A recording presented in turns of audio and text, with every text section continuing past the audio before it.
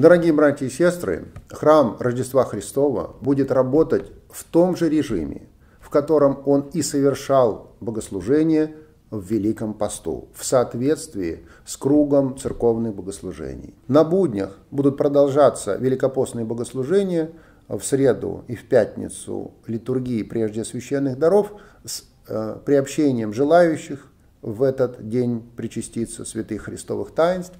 В среду в 17 часов будет прочитан полностью покаянный канон преподобного Андрея Критского. 5 апреля, это воскресенье вечером в 17 часов, наш храм посетит митрополит Екатеринодарский и Кубанский Исидор, который возглавит чтение пассии.